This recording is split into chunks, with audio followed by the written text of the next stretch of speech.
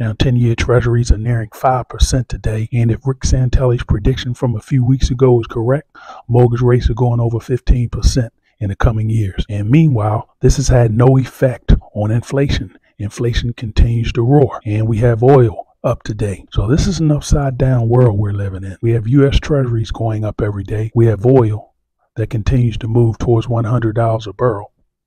And we have inflation that continues to be persistent. So past Federal Reserve rate hikes, they have done nothing before the first Fed rate hike. The only difference now is the people are loaded up with debt and their pockets are a lot lighter. Now Reuters came out this morning and said chicken prices are at their highest ever. And to go along with that, live cattle continues to soar. So inflation is still here. You step your foot in that grocery store, folks, and you're going to pay the price. All right, folks. Now we had a 10 year treasury hitting almost 5% today.